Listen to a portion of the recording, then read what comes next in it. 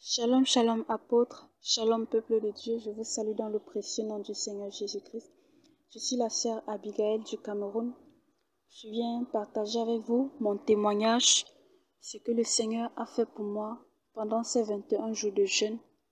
Dès le premier jour, le Seigneur a commencé par me briser. Seigneur, dans un songe, en pleine journée, il, il a commencé à me briser. Et quand il passait sa main sur tout mon corps pour un scanner, c'est ainsi que je sentais mes os faire des bruits.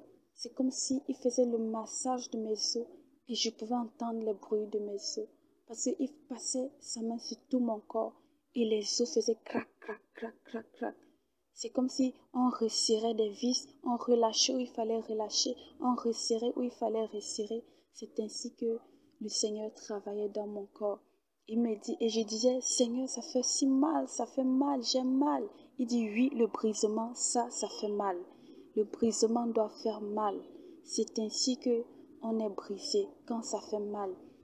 Il continuait de travailler et il a dit, il faudrait que tu passes beaucoup de temps afin que le brisement puisse bien se passer.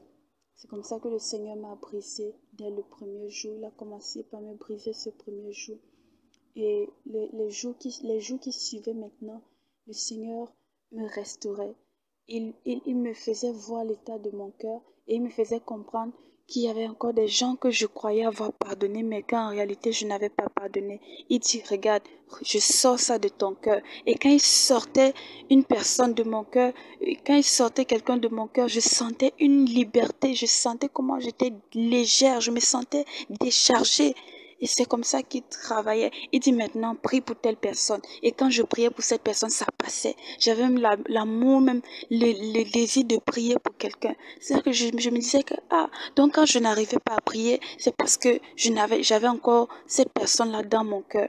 Le Seigneur transformait tous les jours ma vie. Il sortait les choses au fur et à mesure que le temps passait.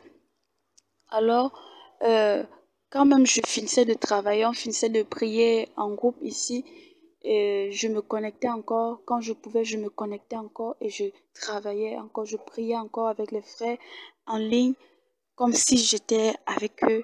Tout ce qu'on disait, j'exécutais aussi et le Seigneur me visitait encore.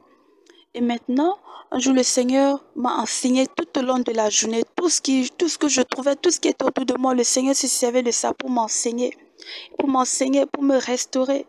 Et pendant qu'il m'enseignait comme ça, ça fait que la nuit, l'exhortation se portait sur le même message. Il parlait de son amour pour nous, le même message. Et au travers de ça, le Seigneur m'a encore beaucoup parlé.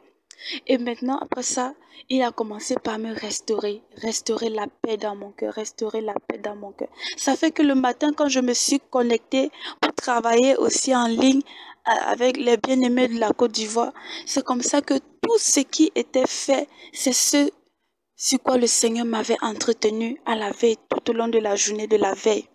Et en ce moment-là, je me suis encore sentie vraiment connectée. Le Seigneur a rempli mon être. Qu'on a dit que la paix remplisse ton cœur. Oh mon Dieu, le Saint-Esprit m'a saisi. Le Saint-Esprit m'a saisi, le téléphone est sorti de ma main, mes bien-aimés.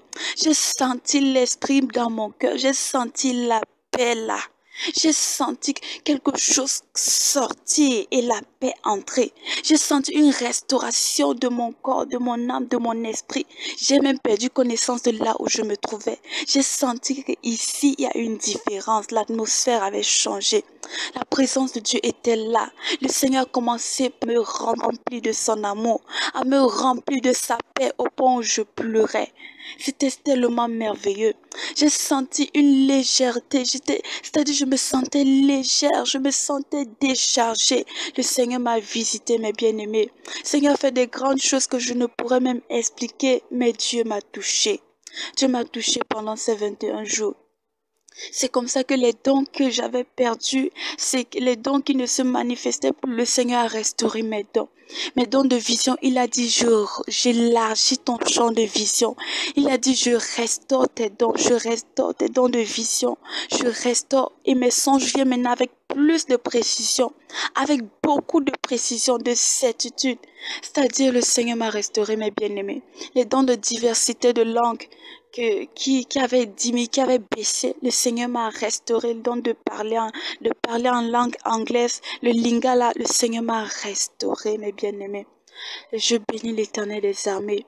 Je bénis le Seigneur parce que ce qu'il a fait pour moi pendant ces 21 jours, je vois vraiment les fruits. Ma vie de prière est organisée. Ma vie de méditation est organisée. J'ai de l'amour pour, le, pour, pour la méditation de la parole. J'ai plus de zèle, je me sens renouvelée. Et le dernier jour, alors, là encore, le Seigneur a fait un miracle. Pendant qu'on parlait du brisement, mais bien aimé, je vous assure, où j'étais prosternée pendant qu'on priait pour le brisement, à un moment donné, j'ai senti comme si le Seigneur était en train de traverser, qu'il était en train de faire le tri. J'ai, crié à te voir, Seigneur, ne me laisse pas. Pendant que tu choisis tes enfants, ne me laisse pas. Pendant que tu fais le tri, souviens-toi de moi. Je fais ci, me voici, ne me traverse pas. C'était tellement réel, ça se passait ainsi dans mon esprit. Mais c'était tellement réel que je me suis retrouvée en train de dire cela haute voix. Et pendant ce temps, je sentais le feu. Je sentais le feu en moi. Je sentais le feu. Je sentais le feu, le feu, le feu dans tout mon corps. Le feu qui me consumait. Et après la prière, quand je me suis levée, oh mon Dieu, j'avais l'impression qu'on m'a mise dans une machine et qu'on m'a écrasée. C'est comme si on m'avait broyé, écrasé. Donc, c'est comme si je n'avais plus de force. Je me sentais écrasée. C'est comme si j'étais aplatie. Donc, vraiment, c'est ce que le Seigneur a fait dans ma vie. Et après cette transformation, je me suis sentie par la suite de renouveler. Je me suis sentie comme une nouvelle personne. C'est comme, comme la Bible dit, naître de nouveau. J'ai senti que je sors de quelque part et qu'il y a une différence. J'ai senti que j'étais quelque part et que maintenant, je suis, je suis une nouvelle personne. Bien que je suis née de nouveau, mais je me suis encore sentie renouvelée. Je bénis l'éternel des armées. Je bénis le Seigneur pour ce temps qui nous a permis de passer dans sa présence. Vraiment, mes bien-aimés, le Seigneur m'a restauré. Le Seigneur m'a renouvelé. Le Seigneur m'a rempli. Il m'a fortifié. Et ce matin-là, quand le Seigneur, euh, pendant que l'homme de Dieu disait, mettez la main sur votre poitrine, et tu vas sentir une paix te remplir. Le Saint-Esprit qui m'avait saisi, je me suis prosternée devant le Seigneur. Et le Seigneur m'a rempli. Après, après avoir rempli mon être, il nous a rassurés. Il a dit, je suis là, je suis avec vous. Il a dit, je reviens. Voilà le seul mot qui répétait sens. Il dit, je reviens, je reviens, je reviens, je reviens, je reviens, je reviens. Le Seigneur a restauré mon âme. Que ton nom soit béni, éternel des hommes. Reçois toute la gloire, ô Dieu. Merci infiniment. Béni sois-tu, Seigneur. Alléluia. Shalom, shalom, peuple de Dieu. Que le Seigneur vous bénisse abondamment. Que le Seigneur vous fortifie davantage. Et que le Seigneur, par son amour, continue de nous donner de persévérer jusqu'à ce qu'il revienne, ô Dieu, afin que nous soyons sauvés, Seigneur. Merci infiniment. Merci au nom de Jésus.